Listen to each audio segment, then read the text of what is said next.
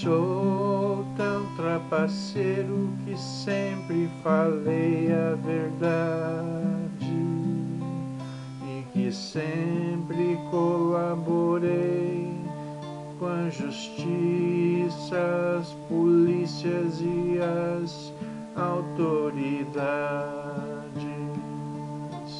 e nunca foi condenado por crime algum na justiça.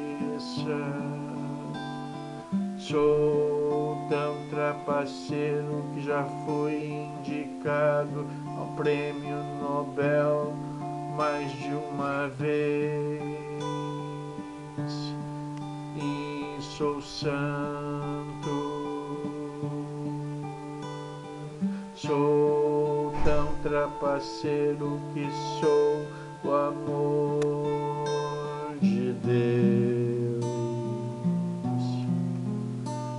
Jesus.